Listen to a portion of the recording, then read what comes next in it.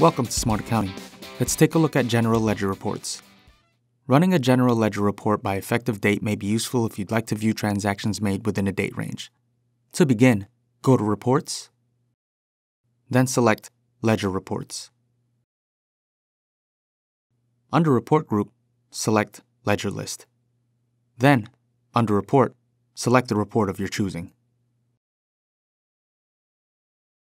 Under Effective Date From, select the effective date you would like to start your search from. Then, under Effective Date To, select the date you would like to limit the search to. The report that is generated will only include posted transactions that have an effective date that falls within the From and To range you entered. Once finished, click Run Report.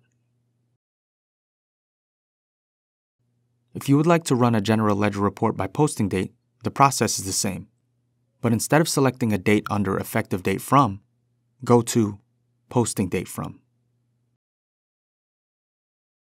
Then, under posting date to, select the date you would like to limit the search to. And that's General Ledger Reports in SmartAccounting. Thanks for watching.